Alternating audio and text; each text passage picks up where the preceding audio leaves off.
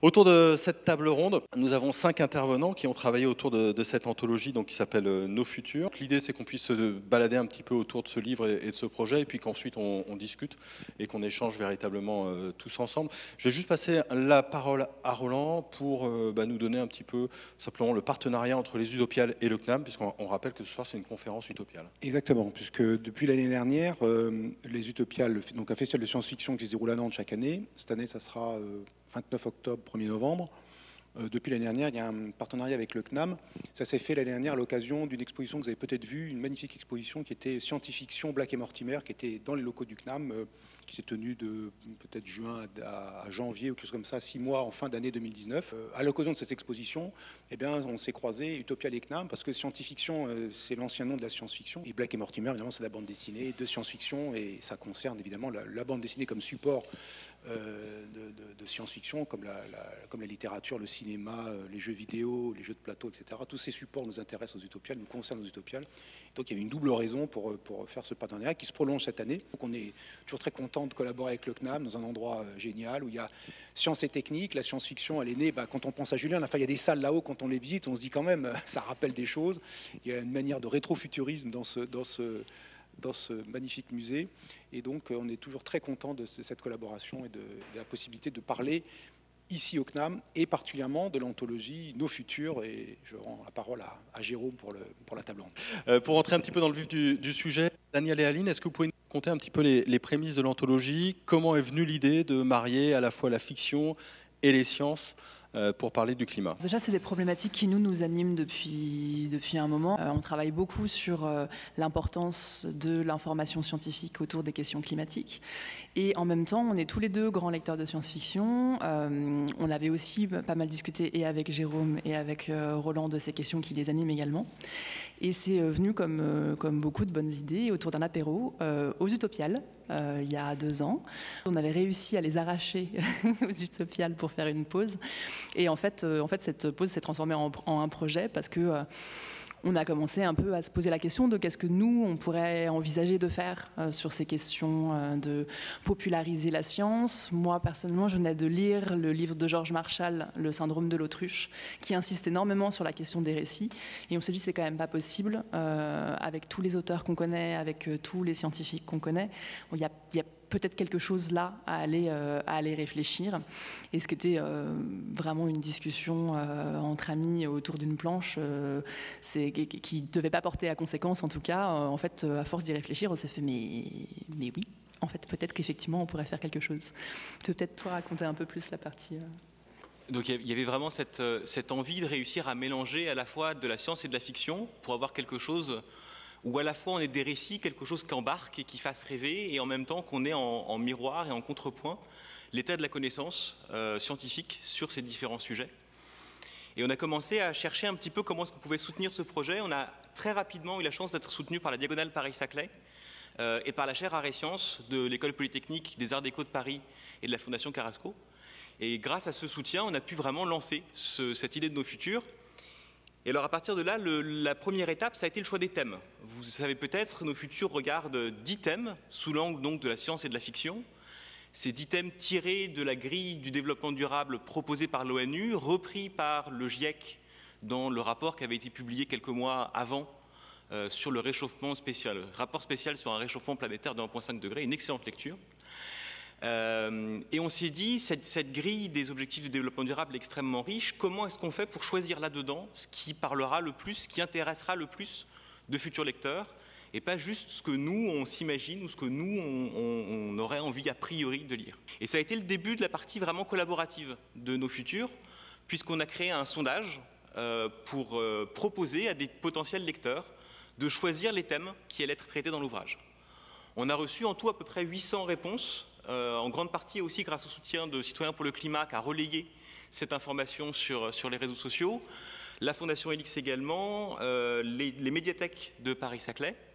Et donc avec ces 800 réponses, on a choisi les 10 thèmes que vous pouvez trouver aujourd'hui dans l'œuvre. Euh, un certain nombre des thèmes qu'on avait envisagé au départ de traiter, des thèmes qui n'étaient pas forcément ceux auxquels nous on avait pensé au départ. Et donc ça c'était aussi le début des surprises de voir émerger des choses et de voir comment est-ce qu'en participant à, plusieurs à ce genre de projet, ben, on crée des choses qui n'étaient pas là au, départ. Euh, l'étape d'après a été le, recrutement des, participants de ce projet, ceux qui ont vraiment fourni le travail pour que euh, le livre euh, existe comme il existe aujourd'hui. Et là, ça a vraiment été deux, activités en parallèle. D'une part, recruter des auteurs de fiction qui étaient prêts à, jouer le jeu, à rentrer dans l'aventure et à échanger avec des scientifiques pour influencer les deux textes à la fois. On avait vraiment très envie que le texte de science et le texte de fiction ne soient pas hiérarchisés l'un à l'autre, mais bénéficient d'influences mutuelles.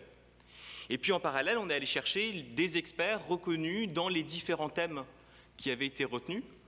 Euh, là, on a aussi vraiment bénéficié du marrainage de Valérie Masson-Delmotte, qui nous a ouvert son carnet d'adresses, grâce à qui on a rencontré un certain nombre de nos, participants. Et puis, on a organisé une, journée de rencontre avec tous ceux qui ont pu se joindre à nous ce, jour-là pour lancer vraiment le, projet. Ça, c'était le 17 octobre de l'année dernière. C'était il y a quasiment un an euh, tout pile. Et à partir de là, les, auteurs ont travaillé, ça on y reviendra un petit peu plus tard, jusqu'à ce qu'existe le livre qui est avec, euh, nous ici, présent sur cette table. À quoi sert la fiction quand on parle justement de réchauffement climatique et, de données scientifiques euh, brutes? L'idée justement, c'était qu'elle elle serve à, illustrer ça, que ce soit pas juste de dire bon bah ok, euh, il y a du réchauffement climatique, ça va être quelques degrés en plus sur le thermomètre, mais de, donner à voir ça. En fait, on a énormément d'informations sur le sujet. Ce qui est difficile, c'est de comprendre comment ça va impacter notre, notre quotidien dans l'avenir. Et on s'est dit, en fait, la meilleure façon de faire ça, il y a déjà plein de gens qui font ça. La meilleure façon de, de, donner à sentir ce genre de, choses, c'est de nourrir des auteurs de fiction avec et de les laisser nous imaginer les, possibles du changement climatique pour vraiment que euh, notre lectorat puisse euh, prendre conscience de ce que ça peut vouloir dire un réchauffement à 1 degré, à 2 degrés, à 3 degrés. Et puis il y avait vraiment euh, l'idée aussi que la fiction n'était pas là pour être forcément entièrement réaliste ou crédible. Euh, elle n'est pas là pour être uniquement à but d'exposition, mais vraiment pour nourrir l'intérêt, la curiosité. Euh, et, on, a, vu dans, dans, des retours qu'on a eus des gens qui disaient J'aurais peut-être pas eu le courage de lire le texte de science s'il avait été tout seul. La fiction m'a donné envie aussi d'aller creuser plus loin là-dedans. On va parler des collaborations, et puis on a, Audrey et Sylvie qui, ont été un peu au cœur du réacteur des collaborations, donc ils vont pouvoir euh, nous, en parler. Est-ce qu'on peut peut-être simplement lister les, dix thèmes un petit peu qui ont été euh, abordés, qu'on puisse bien faire comprendre comment en fait le réchauffement climatique n'est pas qu'une question de degré, mais ça a des impacts dans euh, différents domaines et pas seulement celui de la science? Il y avait vraiment effectivement cette idée de, de montrer que le réchauffement climatique, en fait, c'est pas juste un chiffre sur un thermomètre, ça a des impacts sur toutes les facettes de la société, et, c'est vraiment une des choses qui, ressort fortement du rapport du, GIEC qui nous a inspiré, et je crois qu'il ressort aussi fortement du livre, c'est que tous ces facteurs s'influencent les uns les autres. Des actions qui peuvent être positives pour certains critères peuvent se retrouver être négatives pour d'autres. Et ça insiste vraiment pour nous sur la nécessité de, regarder tout ça, de s'en imprégner, d'essayer de, de le rendre sensible à la fois sur le plan de ce qu'apporte la fiction, mais aussi sur l'état des connaissances pour être capable de faire les choix que ça implique en connaissance de cause. Moi, je propose qu'on rentre un petit peu dans le vif du sujet. Alors, d'abord avec toi, Sylvie, euh, autrice donc de science-fiction, familière euh, des sciences. Euh, tu avais une thématique auquel on ne pense pas forcément quand on parle réchauffement climatique, c'était égalité des sexes. Avec donc un texte de Marie-Jeanne Husset, de Véronique Moreira et d'Anne Barr, euh, sur comment est-ce que euh, le réchauffement climatique a des impacts euh, sur ça. Comment est-ce que tu t'es frotté à la thématique et comment est-ce que tu as composé ton récit ensuite? Alors, dans l'exposé qu'a fait Daniel tout à l'heure, il n'a pas dit que nous, de notre côté, on nous a demandé quels étaient les thèmes sur lesquels on avait envie de travailler. On en a, chacun sélectionné deux ou trois. donc, on n'a pas travaillé sur des thèmes qui ne nous inspiraient pas, heureusement. Euh, on a l'habitude, quand on est auteur de science-fiction, ça nous est tous arrivé de travailler sur des projets, je dirais pas des projets de commande, mais des projets euh, pour lesquels on nous suggère une thématique, euh, avec toutes sortes de contraintes, des contraintes de longueur. Mais d'habitude, je pense que pour écrire un bon texte, il faut être à la convergence de plusieurs idées qui n'ont pas forcément grand-chose à voir entre elles. Euh, et là, on s'est trouvé dans une situation un peu particulière, au sens où vous avez dû remarquer bah, par exemple, croiser les questions liées au réchauffement climatique et la question de l'égalité des sexes, c'est pas forcément quelque chose que vous auriez immédiatement réuni dans votre esprit euh, d'une manière évidente. Oui, c'est ce que tu disais. Euh, il fallait aller au-delà, je pense, pour écrire un texte, euh, de l'énorme travail euh, d'analyse, de constat euh, qu'a fait l'association WESF avec laquelle je collaborais, qui a renvoyé une image mondiale de la situation des femmes, des différents types d'oppression qu'elles subissent, de la place qu'elles ont euh, dans les prises de décision et dans les lieux de pouvoir. Donc, euh, bon, moi en tant qu'auteur, si je m'intéressais à ce thème, c'est parce que je suis évidemment sensibilisée à ces questions et que euh, le plafond de verre, par exemple, je vais pas. On n'est pas toutes concernées par les mêmes oppressions, mais je crois qu'on est toutes concernées d'une manière ou d'une autre. Si je peux raconter un peu comment ça s'est passé, on a commencé par euh, se rencontrer physiquement avec, euh, avec euh, la représentante pour la France de cette association, qui m'a raconté un peu quel était leur travail, en particulier un travail de valorisation des actions de terrain des associations qui essaient de venir en aide aux femmes, de leur donner de l'autonomie, des moyens de subsistance, de les aider à reprendre la main et le contrôle sur leur environnement. Donc, elles m'ont raconté tout ça. Euh, et moi, je me suis demandé sous quel angle le prendre parce que euh, il se trouve que je suis prof et que j'avais pas envie de faire de la pédagogie et que c'était pas du tout mon rôle. Donc, euh, j'ai décidé de prendre la question sous un angle un peu différent, en mettant en valeur le fait que c'est pas parce que les femmes y étaient prédisposées ou parce qu'elles seraient plus faibles ou moins intelligentes ou moins fortes ou je ne sais quoi d'autre, qu'elles se retrouvent en situation d'oppression, souvent d'opprimés, euh, et que euh, nous sommes tous, nous étions toutes convaincus qu'il s'agit d'un processus purement social. La science-fiction aime beaucoup travailler sur les questions d'organisation sociale, et on peut tout à fait imaginer que les règles sociales changent et que euh, immédiatement, euh, les communautés qui, qui, se retrouvent en position difficile ne, seraient plus les mêmes.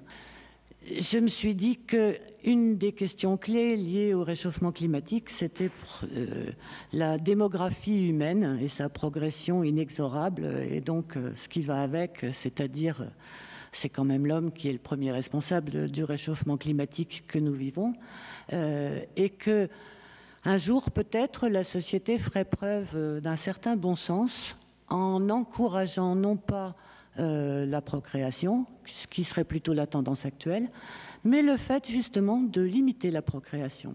Donc dans une telle société, ben, pour tout vous dire, j'ai démarré ma nouvelle avec une réflexion linguistique, euh, parce que je crois beaucoup au pouvoir du langage pour structurer les sociétés, et que dans une forme de langage où le neutre et le masculin, ça veut dire que la norme, c'est d'être un homme.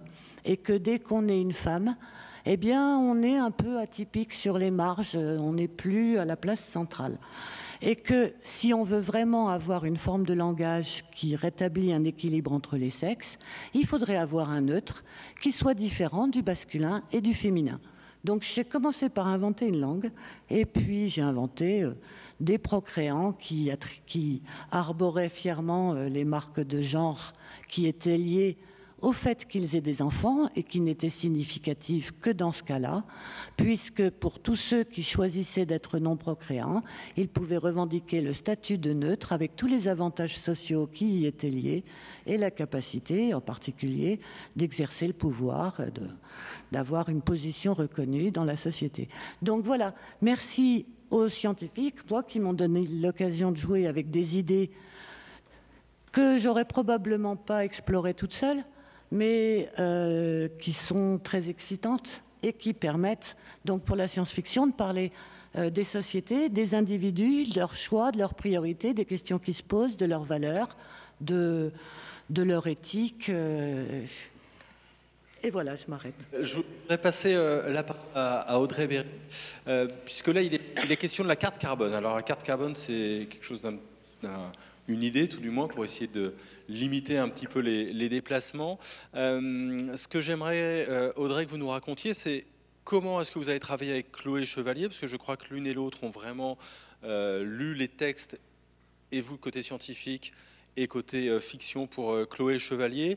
Et puis là, on a une, une sorte de, solution, mais dans votre texte, ce qui est assez intéressant, c'est que sur cette solution-là, vous parlez à la fois du positif et en même temps d'éventuellement du négatif et donc de toutes les conséquences. Donc effectivement, donc j'ai travaillé avec euh, Chloé Chevalier qui est autrice de, de fantasy et, et, de science-fiction maintenant, voilà.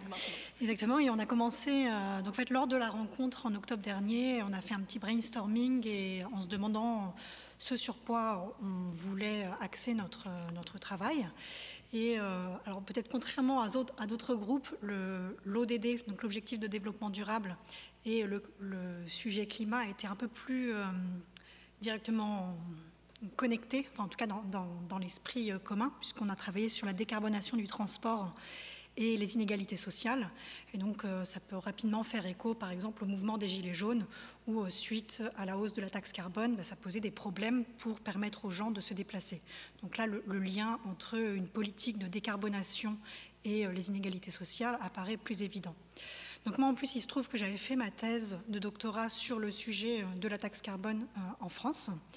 Et donc là, dans, le cadre de ce travail, euh, bah, l'idée c'était quand même d'aller un peu au-delà, suite, euh, suite au, gilet, au, gilet, jaune, et de penser à d'autres politiques qui pourraient euh, venir contribuer à décarboner les transports.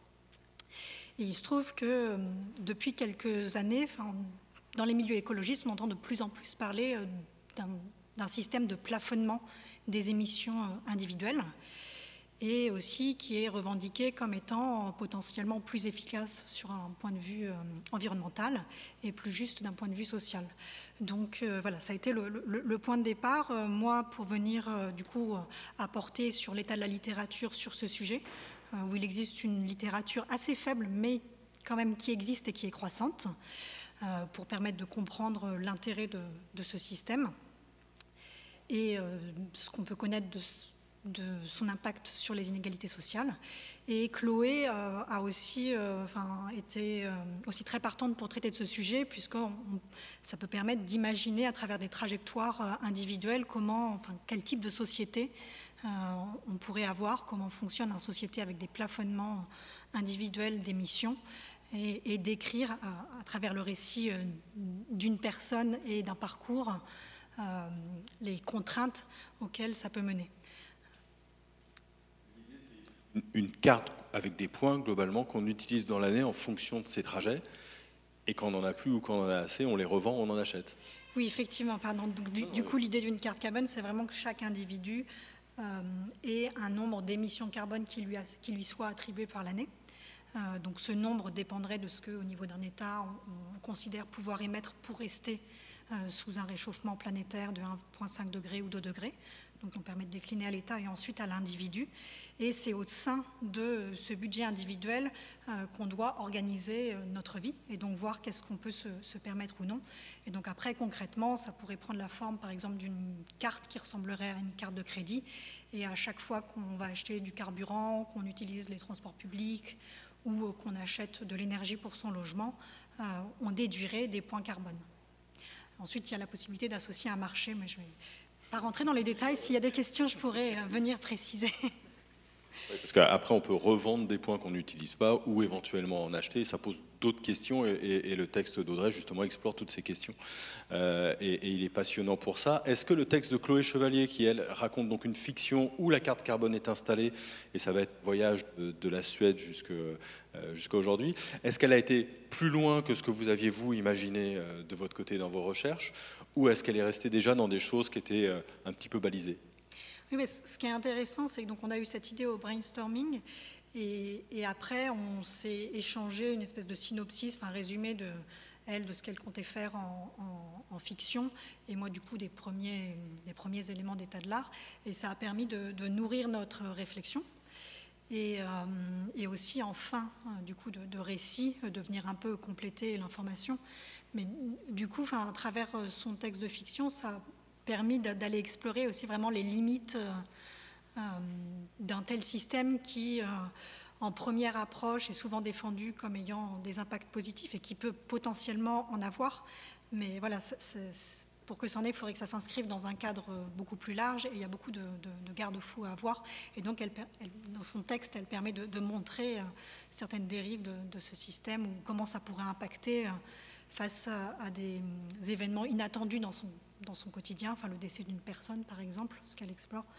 Du coup, comment on peut être amené à faire un trajet qui sort de, notre quota et les difficultés auxquelles ça peut mener derrière.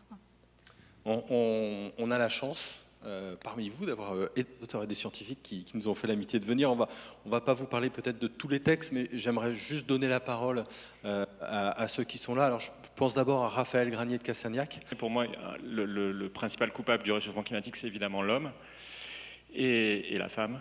La solution au réchauffement climatique, ce serait qu'on soit moins, beaucoup moins. Alors évidemment, c'est pas facile à imposer à une société hein, d'être beaucoup moins. Ça résonne un peu avec le, problème de la natalité que tu, évoquais tout à l'heure.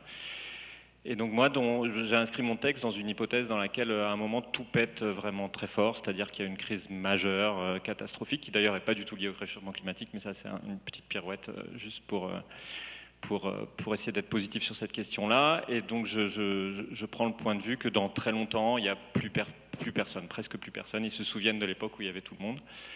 Et, j'avais envie de donner une tournure un peu positive, donc j'avais envie d'essayer de trouver une solution au problème plutôt que de, rester plus purement dystopique et post-apocalyptique.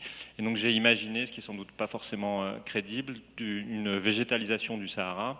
il y a un projet hein, de muraille verte au sud du Sahara qui existe, qui est, censé stopper l'avancée du Sahara, et puis potentiellement, si on crée une dynamique... Euh, autosuffisante là-dessus, éventuellement revégétalisation. Moi, j'ai poussé les curseurs très très fort là-dessus, énergie solaire pour désaliniser l'eau, revégétaliser le Sahara. Et donc j'ai imaginé que dans quelques années, euh, tout le Sahara est végétalisé ou presque, et ça réglait notre problème de, nutrition.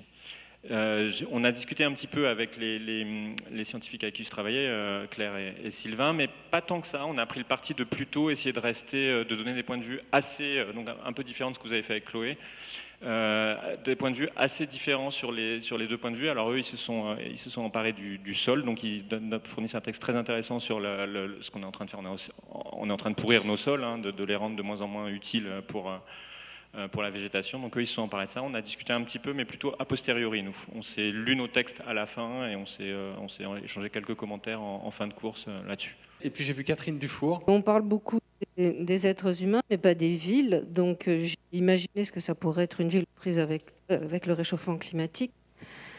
Donc euh, d'abord elles vont cuire, et puis ensuite elles vont avoir les pieds dans l'eau. Donc j'ai essayé de d'imaginer un moment où le mètre carré haussmanien ne sera pas déterminé par, par le caractère haussmanien de l'immeuble, mais par le fait est-ce que vous avez, est-ce que votre immeuble est hors d'eau? Et surtout, est-ce que vos caves sont hors d'eau, puisque vous pourrez survivre que dans les caves, et il ne faut pas que les caves soient inondées, avec un développement, de, bien sûr, sur toutes ces étendues qui sont devenues inévitables par les êtres humains, puisqu'on n'est pas encore étanche, euh, le, développement, le renouveau de, de, toute une flore qui existe dans Paris, euh, mais qui connaît une expansion absolument délirante. Donc il y a des quartiers de Paris qui sont absolument inaccessibles parce que parce que c'est infesté de rats et que le, rat en bande n'est pas aimable.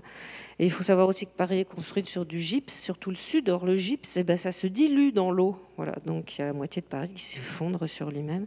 Enfin voilà, je vous, je vous dévoile pas tout, mais j'ai essayé de considérer la ville comme un grand corps travaillé par le réchauffement climatique, par les modifications climatiques. Donc j'ai été bien sûr aidée par mon collègue scientifique et puis euh, par d'autres euh, notamment Ariane, pour, euh, pour mettre un petit peu de, réalisme dans, dans, dans, mes recherches afin de donner une version à peu près plausible du, du Paris climatiquement. Et, et, comment tu as, tu as bossé avec Vincent Viguier?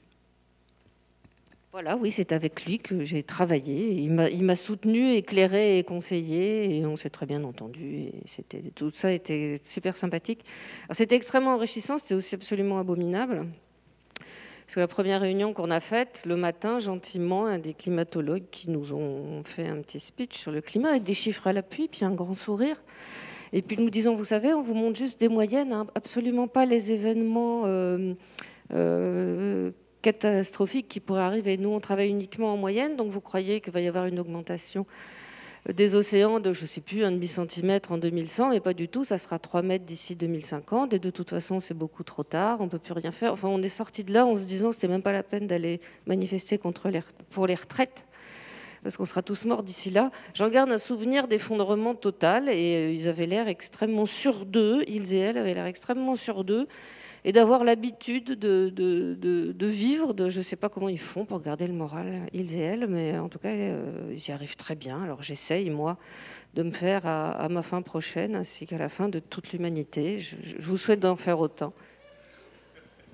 Voilà, bonne fin du monde à tous euh, et, à toutes. Euh, est-ce que c'est pas peut-être un écueil parfois de, des sciences où, on ne voit que le noir et ces fictions-là, elles permettent aussi parfois d'apporter euh, de la nuance, je ne vais pas dire des solutions, mais en tout cas des choses un petit peu plus grises c'était vraiment une question qu'on s'est posée au départ de ce projet, de, chercher comment essayer de faire en sorte que ce ne soit pas que tout noir.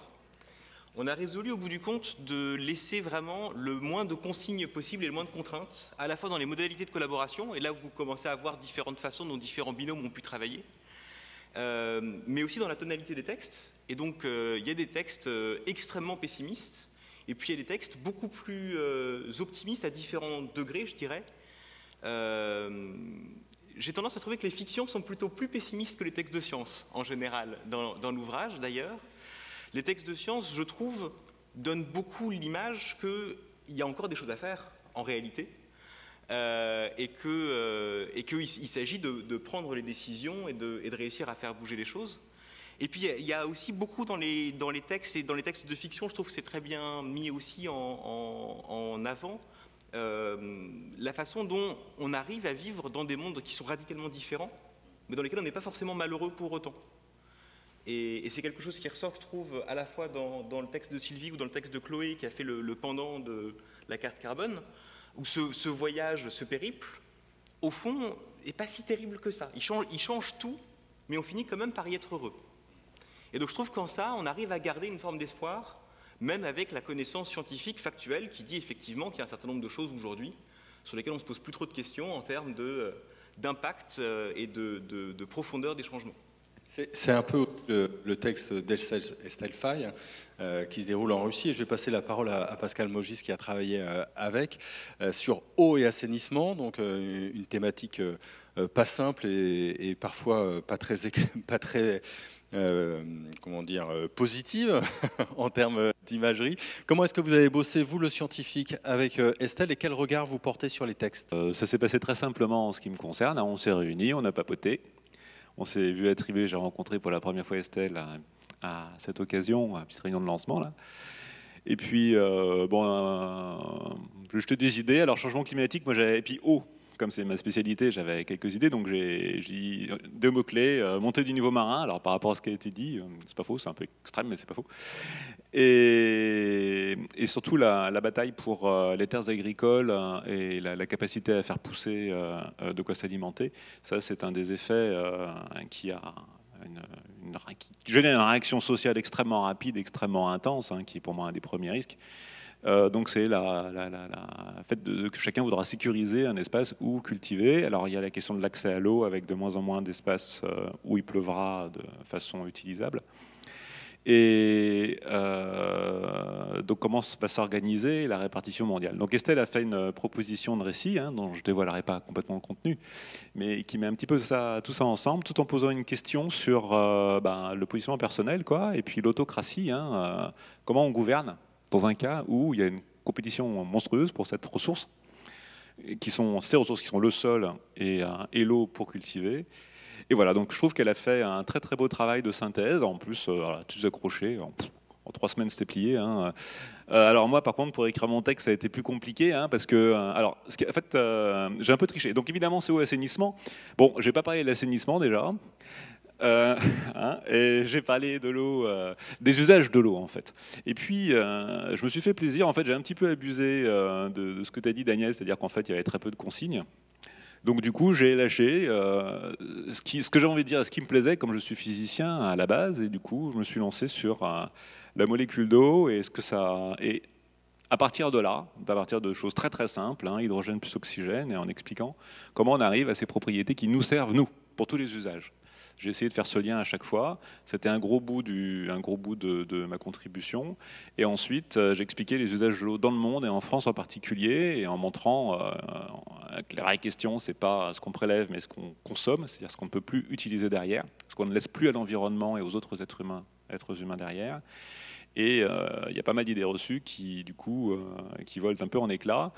Euh, et en interrogeant évidemment les priorités des politiques publiques en la matière. À côté de ça, c'est vrai, je fais du conseil pour les collectivités territoriales sur la gestion de l'eau. Alors, changement climatique, derrière, il, est un peu là parce que le problème de l'eau va être aiguisé par le changement climatique, mais changement climatique a permis, au contraire, de parler des problèmes de l'eau. Parce qu'avant, c'était assez enfoui sous les usages agricoles.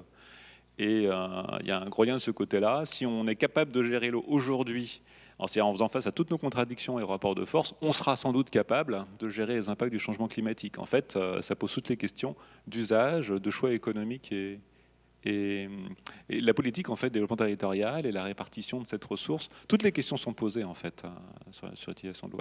Alors j'ai un peu galéré quand même parce que du coup, il y a eu beaucoup d'allers-retours sur euh, l'explication, sur ce qu'il faut ajouter, ceci, on le remet, on le retire. Bon.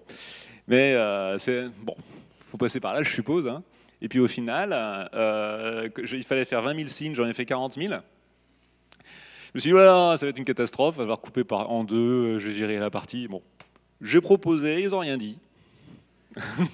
c'est passé on n'avait pas donné un bon calibrage. On disait 20 000, notamment pour les fictions. Et puis, euh, euh, sur Santé et Bien-être, Claude Eken nous a fait 120 000 tranquillement. C'est pour ça que le livre aussi gros, hein. on avait prévu 300 pages, il en fait un peu plus de 500. Euh, c'est comme ça. Mais, Claude Eken, il a, travaillé donc sur Santé et Bien-être avec François Moutou. Alors, François Moutou, je vais vous poser un petit peu la même question. Comment ça s'est passé avec Claude? Parce que je crois qu'il y a eu beaucoup de discussions ensemble. Et comment est-ce que, quel regard vous avez eu, vous, sur cette aventure? Merci. déjà, moi, je suis très impressionné avec 24 auteurs, toute l'équipe d'animation, qu'on ait fait un livre comme ça en 9 mois. Et 9 mois, c'est un chiffre assez intéressant pour un mammifère comme l'espèce humaine. C'est une bonne coïncidence. Et pour avoir participé à quelques ouvrages, je trouve que c'est vraiment un travail déjà au niveau de l'organisation assez, assez extraordinaire. Donc, je voulais féliciter tous les participants des deux côtés de la tribune. Alors moi, par rapport à ce que disait Madame Sylvie Lenné tout à l'heure, c'est plutôt grâce aux articles scientifiques que je vais lire la science-fiction. Euh, je suis très peu science-fictionniste ou fil, je ne sais pas comment on dit.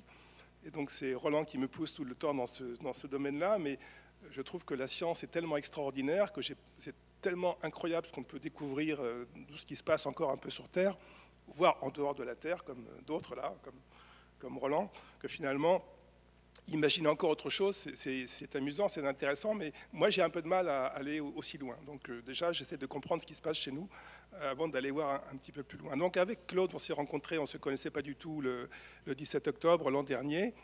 Et en fait, si je me souviens bien d'ailleurs, le 17 octobre, le thème de ce que nous avions à écrire n'était pas santé et bien-être. Là, j'ai un petit peu de mémoire quand même. Et c'était santé et alimentation. Et donc j'avais un petit souci parce que le mot alimentation réapparaissait également dans le, chapitre sur euh, le problème de quantité. Et nous, c'était plutôt la notion de qualité par rapport à la santé. Donc voilà. Et donc comme moi je suis euh, épidémiologiste, j'ai évidemment plutôt axé sur santé, sachant que j'avais un petit souci, c'est qu'il euh, n'y a pas tellement finalement de lien évident, immédiat, majeur entre le changement climatique et la santé. Et alors, si je me rappelle aussi, on avait comme consigne de rendre le texte, avec le calibrage que je n'avais pas oublié, euh, en, fin d'année à peu près. Hein. Et donc, euh, décembre 2019, pour, préciser un peu les choses. Et donc, je me rappelle qu'à un moment, j'ai écrit dans, le texte, quelle sera la prochaine épidémie? Euh, Quand j'ai reçu les épreuves à relire, j'avais la réponse. Alors j'étais très content, mais en même temps je ne pouvais pas tout reprendre à ce moment-là, sachant que finalement notre histoire de Covid avec les masques, euh, elle n'est pas liée au, changement climatique, mais le paradoxe, c'est que grâce à ce petit virus, à l'épidémie, on a revu du ciel bleu là où ça faisait des années qu'on ne le voyait plus. Alors si la solution au changement climatique, c'est une épidémie, pourquoi pas? Mais à ce moment-là, ça devient un peu compliqué, parce que si on gère euh, une catastrophe avec une autre, où va-t-on mettre l'équilibre? Alors voilà, là finalement, euh, je trouve que même parfois, on manque d'imagination par rapport à ce qui se passe vraiment. Et sincèrement, je ne sais pas si euh, dans les auteurs, certains avaient imaginé que la solution pour lutter contre le changement climatique était de déclencher une belle épidémie. Alors si quelqu'un l'a fait exprès, c'est bien vu, parce que ça marche, mais peut-être qu'il faut mieux la contrôler et mieux l'encadrer. Et donc, du coup, euh, ça, c'est un petit peu le, commentaire d'aujourd'hui. Et avec Claude, alors lui qui était quand même parti vraiment sur l'idée santé, alimentation, qui a beaucoup travaillé sur cette notion de variété, de contrôle des semences par des industries, par des, grands méchants, et avec des agriculteurs résistants euh, euh, dans leur petit coin qui essayaient d'échapper à ces contrôles et garder des variétés qui justement avaient la capacité de de s'adapter à, des, variations. Donc il a fait un travail très, très argumenté, très documenté, mais sur un domaine finalement qui n'était pas tout à fait celui que j'ai euh, développé, mais on a pas mal échangé tous les deux pour euh, arriver à, ce résultat. Voilà, donc on espère que ça vous plaira. faut dire peut-être juste, juste, un mot pour expliquer le changement du thème euh, en cours de route. En fait, ce qu'on a pris comme grille de lecture au départ, c'est un croisement entre les objectifs du développement durable, par exemple santé bien-être, et les façons d'agir sur le climat, par exemple la façon de changer nos alimentations. Et c'est aussi pour ça qu'il y a dans les différents textes des échos d'un texte à l'autre, parce qu'il y a des thèmes qui sont vraiment couplés les uns aux autres et du coup qu'on voit traiter sous différents angles et par différents prismes au fur et à mesure du livre. Et ce qui est intéressant, c'est que c'est le cas même de la question euh, de l'épidémie, qui est évidemment euh, présente et évoquée, sous-entendue euh, dans, le, dans, le, texte que tu as écrit, et qui est aussi évoquée dans la préface de l'ouvrage par Valérie Basson-Delmotte, qui pose justement la question de l'analyse de l'impact réel que l'épidémie a sur euh, nos objectifs climatiques et sur la façon dont ça permet, ou pas, et a priori plutôt ou pas, de réussir à changer les choses dans la durée. Et donc voilà, il y, a à nouveau tous ces échanges qui ont lieu dans, le, dans les différents textes. Valérie euh, Masson-Delmotte, on va juste préciser qu'elle est vice-présidente du groupe euh, du GIEC, du groupe France. Euh, le, groupe 1 du GIEC, qui est la partie qui s'occupe de la, modélisation physique, de la compréhension de l'évolution du climat. Quel regard vous portez les uns les autres, et, je m'adresse aussi aux scientifiques et aux auteurs et aux autrices qui sont là ce soir, sur ce dialogue entre science et science-fiction, entre fiction et, données scientifiques? D'abord, Aline et Daniel, euh, vous avez été surpris, heureusement surpris. Comment tout cela, ça s'est raccordé?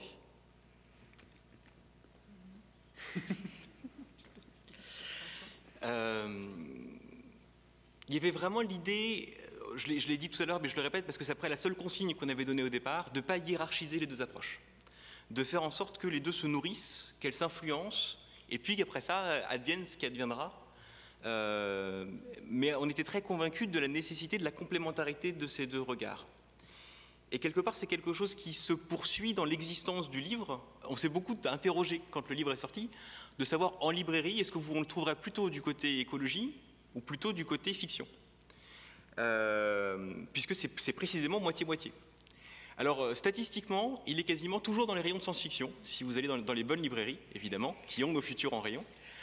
Euh, et, à la réflexion, en fait, on en est très heureux parce que ça veut dire qu'on arrive à porter dans un domaine qui n'est pas du tout habituellement le domaine euh, de l'écologie, le message et, les intérêts qui sont les nôtres dans ce, dans ce livre, et de montrer qu'il y a des choses à réfléchir, qu'il y a des choses à imaginer, qu'il y a des choses à comprendre, qu'il y a toute une science derrière qui est passionnante.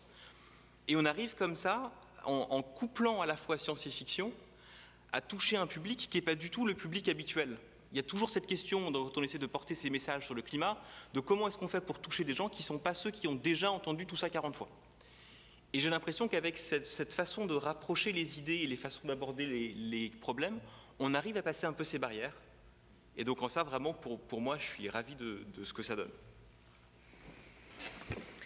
Et puis peut-être euh, d'un point de vue plus euh, d'éditeur, euh, je crois que c'est pas du tout la même chose en fait de recevoir les textes au fur et à mesure et effectivement de faire un certain travail d'édition avec un certain nombre d'entre vous et, et d'entre ceux qui ne sont pas là mais qui ont eu aussi à subir mes retours. c'est assez magique en fait de voir l'œuvre se construire au fur et à mesure, la façon dont ça se répond, la façon dont effectivement des thèmes qui sont pas censés au départ être couplés, en fait se mettent à résonner. Euh, ça avait quelque chose de, complètement incroyable, au-delà euh, du bonheur absolu que ça peut être de recevoir euh, une nouvelle d'une autrice ou d'un auteur qu'on lit depuis des années. Et là, cette nouvelle, elle existe uniquement parce qu'on a porté ce projet et parce qu'il a eu envie d'y adhérer. ça, c'est quelque chose d'extrêmement fort, pour le coup. Et après, effectivement, euh, dans, euh, dans le rendu final, enfin, et, en fait, presque depuis le début, effectivement, comme, le disait Daniel, euh, il y a certains des thèmes qu'on n'aurait pas choisis nous, et c'est tant mieux. il y a certains des textes qu'on n'aurait pas traités comme ça, et c'est tant mieux.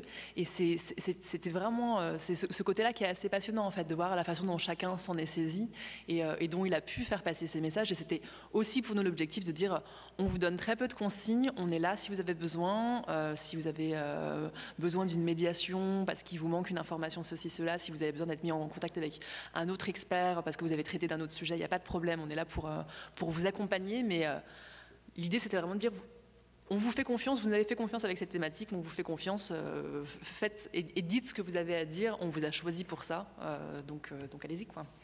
Et, pour les scientifiques, le regard sur la fiction du, coup qui a été faite, c'est quelque chose qui peut amener à vous intéresser.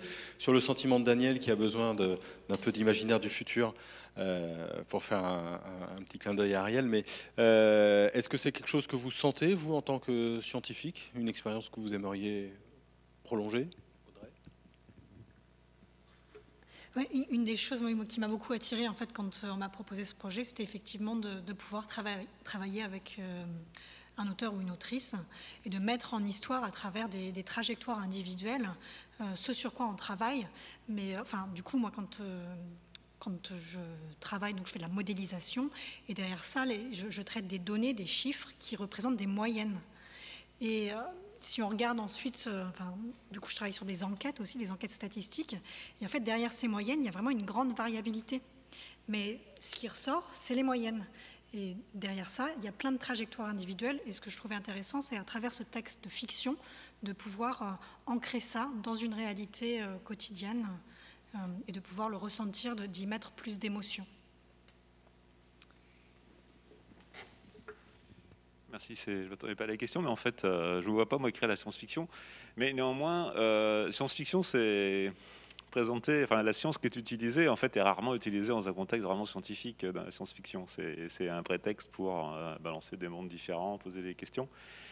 Et des fois, quand on fait une euh, réflexion sur euh, ce que pourrait ou ce que devrait être notre monde, notre fonctionnement à l'avenir, et qu'elle est appuyée sur une réflexion scientifique, on arrive à des, considérations qui relèvent, je trouve, davantage parfois de l'utopie.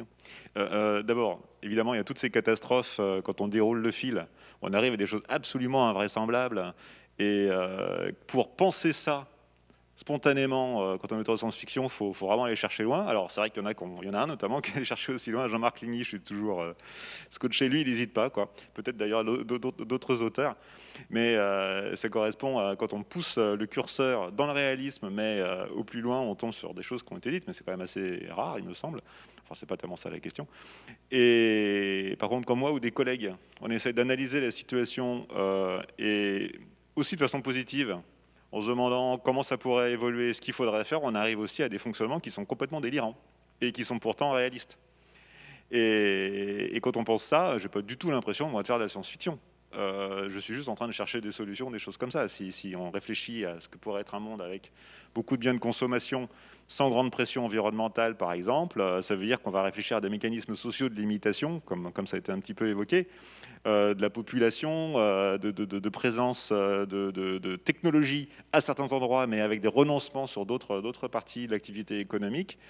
Et on est dans un espace qui n'a strictement rien à voir avec ce qu'on connaît. Donc c'est de la fiction sur base scientifique, et c'est pas de la science-fiction.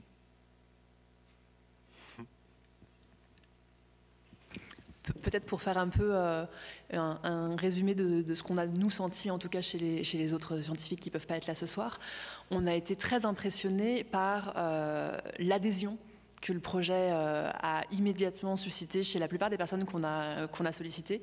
Il y a certaines personnes, donc comme on disait, qu'on a plus trouvé par le, biais de Valérie Masson-Delmotte, etc. Il y a d'autres experts que moi, potentiellement, je connaissais depuis très longtemps par mon travail journalistique. Et on s'est un peu dit on y va, on prend euh, ceux qu'on considère être les meilleurs de leur discipline euh, et on leur demande s'ils ont envie de venir travailler avec nous.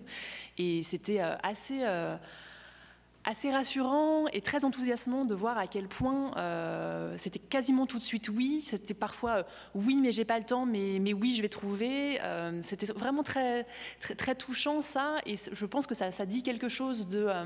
c'est quelque chose qui nous a été dit, je crois que c'était par Valérie, mais je suis pas complètement sûre, de dire mais nous, en fait, on, manque de ce lien direct avec le public. On, on, travaille sur ce qu'on fait, mais parfois, alors il y a un peu la vulgarisation scientifique, voilà, le journalisme scientifique qui qui, fait un peu cette passerelle, mais qui en fait touche une partie de la population qui est assez petite.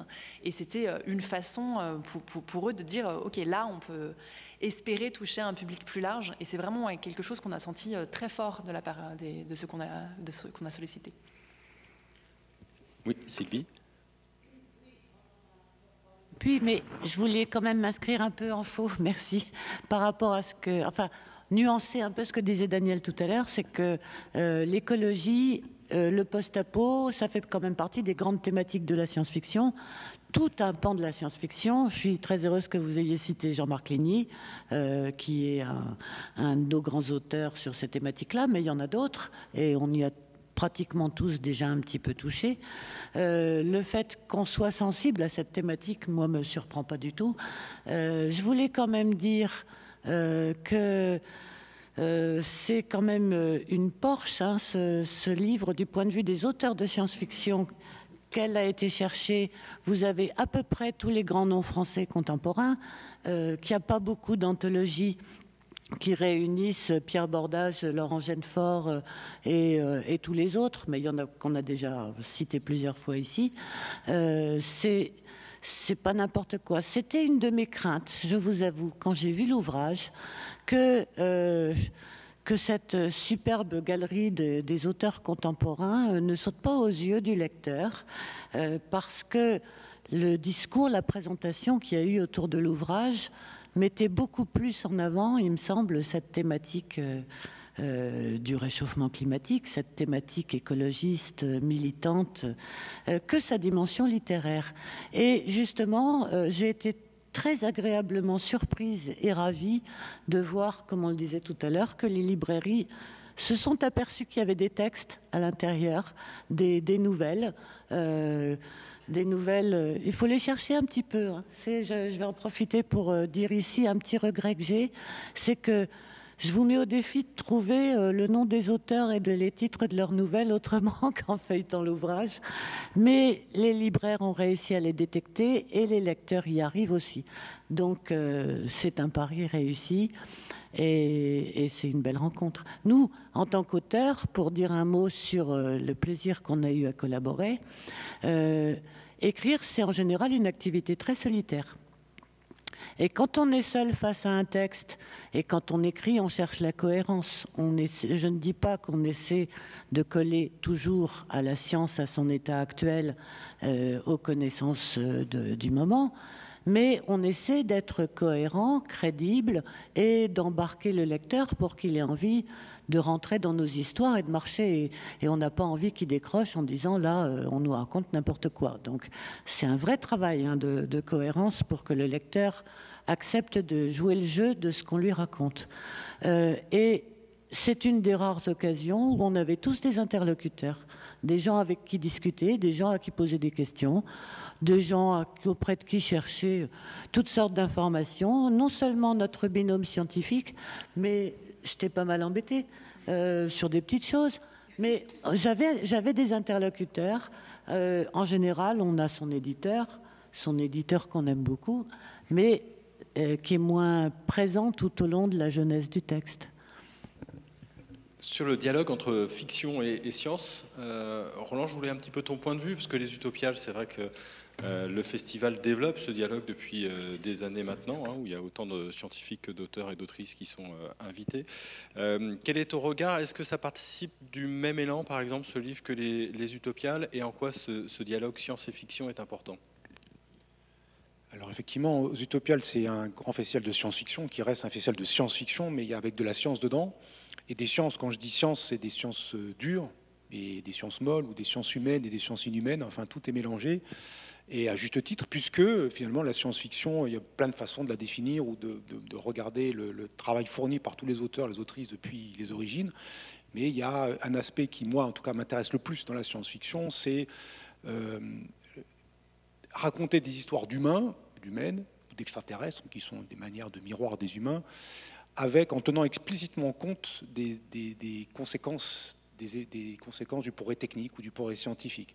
Donc c'est pas euh, la science et la technique peuvent servir de cadre, euh, mais là c'est beaucoup plus fort en science-fiction, dans une œuvre en général, mais en science-fiction c'est beaucoup plus fort, ça peut être carrément un moteur de l'intrigue, voire un personnage principal, une planète, un vaisseau ou, euh, une ville, hein, comme dans Catherine Dufour, où le personnage pratiquement est, la ville. Et donc ce lien entre science et science-fiction il est évidemment très fort, et c'est en depuis maintenant 2012 où j'ai été, où j'ai eu le plaisir d'être président des Utopiales et avec Hugo Bellagamba d'abord comme délégué artistique et puis ensuite Jeanne de Batte, on a toujours eu à cœur de, mêler intimement, de retrouver, de retisser finalement le lien initial qu'il y avait entre une science-fiction, disons, à la Jules Verne, c'est un, exemple, il y a, d'autres auteurs du même temps qui ne font pas exactement la même chose, où il y a une volonté à la fois pédagogique, d'émerveiller par les sciences, mais de raconter ça en histoire, et puis une science-fiction, on va dire, à la Wells ou à, d'autres, ou à René qui une science-fiction, où la science est là, mais c'est aussi pour parler des humains et des conséquences que ça a.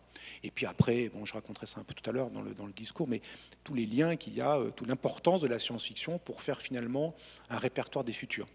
Ça ne vous dit pas ce qui va se passer, mais ça vous donne un répertoire des futurs qui vous permet de sortir de la tyrannie du temps court, du vers is no alternative, et euh, un peu de la déprime en se disant il n'y a pas d'autre choix, qu'est-ce qu'on fait?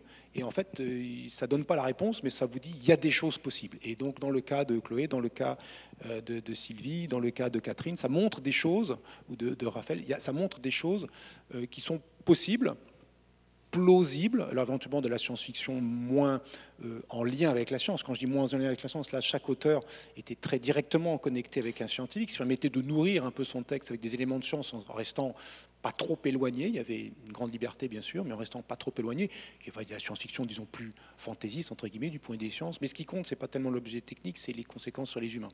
Et c'est en ce sens qu'elle me paraît absolument indispensable, cette alliance entre science et science-fiction me paraît absolument indispensable comme euh, modalité pour, euh, pour euh, finalement penser les futurs et ne pas laisser au, public qui lit la science-fiction, qui s'intéresse aux sciences, mais mon idéal serait qu'il s'intéresse vraiment aux deux à, égalité, enfin avec peut-être une préférence pour l'un ou pour l'autre, mais qui s'intéresse vraiment fortement aux deux, pour ne pas laisser qui ou quoi s'emparer des futurs et vous dire le futur est comme ça.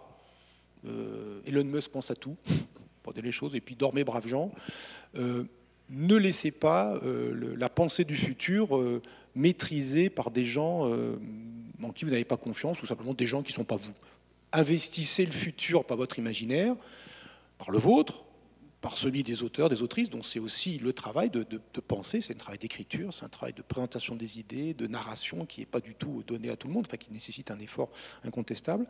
Et, et, regardez aussi ce que les scientifiques ont à dire, mais qu'eux vous disent ça de façon des fois un peu plus sèche, un peu plus avec des nombres, et, et personnaliser, humaniser les choses, ça rend les choses particulières et donc d'une certaine façon fausses, puisque c'est jamais comme ça que ça se passe, c'est un peu les moyennes qui se dégagent, mais, chaque trajectoire humaine est une trajectoire individuelle particulière, et ça permet donc d'humaniser les choses, d'humaniser les nombres, de les rendre, concrets, et avec ça, d'essayer d'investir le futur euh, par, par l'imaginaire, et de ne pas laisser... Euh, l'imaginaire des autres, enfin des autres des, qui vous voulez euh, euh, coloniser votre futur. Et donc il y a vraiment cette, cette idée-là très forte, à mon sens, qu'il faut allier science et fiction, science et science-fiction, pour, euh, pour avoir une pensée du futur. Bien sûr, il y a d'autres moyens de faire, la philosophie, toutes les sciences humaines, et puis, et puis les sciences dures aussi, les sciences expérimentales aussi. Mais là, c'est une façon plus humaine, plus directe, plus particulière, aussi plus singulière et donc fausse mais qui permet de montrer les choses quand même en, concret. Et donc c'est cette démarche-là, euh, dans nos futurs. Évidemment, j'y adhère pleinement pour avoir quand même participé à, ce travail, enfin à ce travail, au pilotage du travail. Mais, je trouve que c'est justement une anthologie de ce point de vue-là unique. il y a eu des tentatives, bien sûr, il y a des auteurs de science-fiction qui travaillent ou qui interrogent. Moi, ça m'arrive d'être interrogé par un ou deux auteurs de science-fiction sur des aspects techniques, mais là, il y a vraiment une tentative coordonnée, quoi, de, passer un message, de passer euh, ça de façon coordonnée, euh, construite, avec euh, les défauts et les avantages d'une première tentative, l'enthousiasme et tout ce qu'on veut d'une première tentative. J'espère qu'il y en aura d'autres, parce qu'il y a la partie réchauffement climatique, c'est vraiment un problème tellement énorme et, et tellement méta de tout le reste qu'il est important, mais il y aurait plein d'autres choses. Il y a des éditeurs, hein, d'autres éditeurs ont tenté des questions, je pense à la Volt en particulier, sur les questions du travail par exemple, où là vraiment il y a des séries d'anthologies spécifiquement sur la question le, travail dans le futur, euh, spécifiquement sur la santé du futur, voilà, des choses qui sont sur une thématique plus, peut-être plus pointue, mais, euh, mais qui, euh, pareil, de la même façon, essaient de discuter ces questions de manière humaine. Et sur le côté militant, euh, puisque Daniel et Aline, vous faites partie du, donc, du collectif citoyen pour euh, le climat. Euh, on imagine des actions parfois concrètes. en quoi cette, cette initiative de littérature et de science est importante pour un collectif tel que Citoyen pour le climat? Alors, on fait effectivement partie de ce collectif. On est tous deux plus particulièrement dans la partie pôle science, donc il y a déjà un petit biais à la base. Euh, le collectif citoyen pour le climat, ça a été créé suite à la démission de Nicolas Hulot, qui se plaignait de ne pas avoir de société civile structurée, euh, qui descendait dans la rue pour euh, soutenir ces mesures. Et il y a plein de gens, en fait, à ce moment-là, qui se sont dit, bah oui, c'est vrai, il euh, n'y a, pas ça, on ne fait pas ça.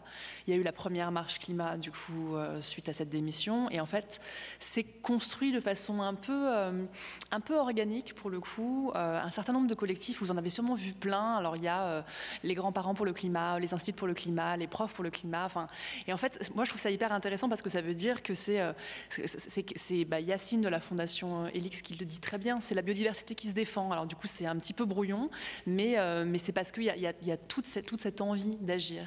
Et donc le collectif euh, s'est euh, constitué autour d'un certain nombre de villes en France euh, qui bougent régulièrement pour les marches climat, qui font aussi tout un, tas d'autres actions, notamment des actions de sensibilisation beaucoup autour des contenus qui sont produits par le pôle science principalement, mais pas uniquement.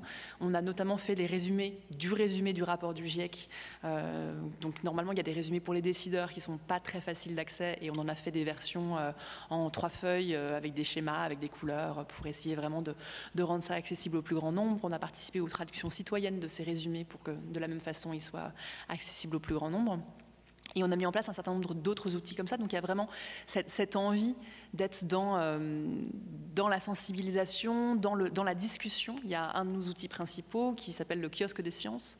C'est euh, des posters sur lesquels il y a, euh, donc on en a un sur comment ça fonctionne le réchauffement climatique, un sur justement l'océan et, et, les liens avec le climat, un sur la biodiversité, le transport, tous les grands enjeux en fait du changement climatique. Et l'objectif de ces posters, c'est d'avoir sous la main tous les ordres de grandeur et tout toutes les informations importantes pour discuter. Euh, Ce n'est pas du tout l'idée d'arriver avec une connaissance très descendante, pour le coup, euh, très académique, euh, mais, euh, mais justement d'avoir ça à disposition et de parler avec les passants en général, on a fait ça dans tout, un tas de situations, on a fait ça dans des écoles aussi.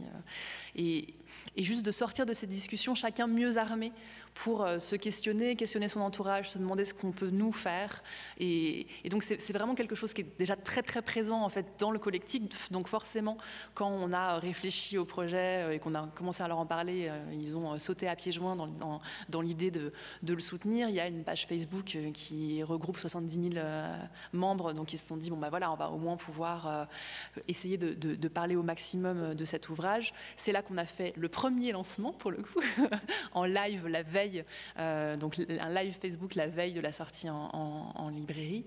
Euh, pour, voilà, essayer de, de, continuer à, co-construire en fait cette, euh, cette, cette, discussion autour de collectivement qu'est-ce qu'on a envie de changer et qu'est-ce qu'on a envie comme de, mettre en place comme société qui pourrait nous permettre de rester dans un monde vivable, idéalement donc dans un monde à 1,5 plutôt 2 degrés de réchauffement. J'ai une dernière question, parce que dans, la salle, on a la chance d'avoir Ariel Kirou. Ariel, il est en train de travailler sur un essai qui s'appelle Dans les imaginaires du futur. Et, c'est un peu ma, dernière question. En deux minutes, Ariel, c'est un défi. en quoi avons-nous besoin d'imaginaire et de fiction pour penser l'avenir? En quoi est-ce qu'on a besoin euh, de, situations, de, réflexions, de livres, de films euh, ou même de jeux vidéo ou de bandes dessinées euh, pour penser le futur? En quoi c'est important alors qu'on a des données, des projections et, des scénarios? Je pense que Roland l'a dit en partie. En fait, c'est parce qu'on a besoin de décoloniser nos imaginaires. C'est la première raison qu'il a évoquée et je pense qu'elle est tout à fait juste.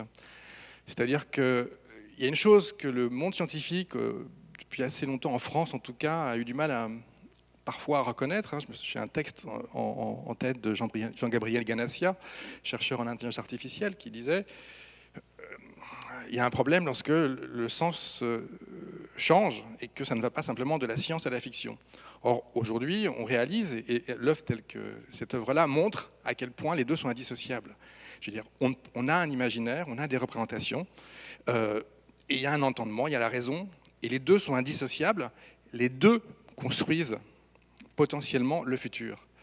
Euh, et croire qu'on puisse séparer les deux, euh, croire qu'on puisse ne faire que l'un ou que l'autre, est une absurdité, autant pour les scientifiques que, pour les euh, auteurs, qui se nourrissent de science depuis très longtemps, qui se nourrissent de, Et les scientifiques se nourrissent aussi de fiction, pas forcément de science-fiction, mais d'images, de représentations.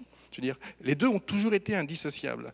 Et croire qu'on puisse les dissocier est une erreur absolue. Donc, pour revenir à la question, puisqu'effectivement j'ai fait une digression pour euh, justifier d'une réponse, et parce que c'est ce qui me venait en tête, euh, pour revenir à la question, euh, les imaginaires, à cause de ce que je viens de décrire, créent ce que Yannick Rumpala appelle des prototypes. Je pense que l'utopie est indissociable de la dystopie. Je et je pense que ce type d'ouvrage le montre très bien. et que pour le long terme, on a besoin de prototypes, on a besoin de se projeter, en fait. On a besoin d'hypothèses du réel pour voir où se projeter, et on a besoin de gens qui vont imaginer l'humain dans une multitude de situations.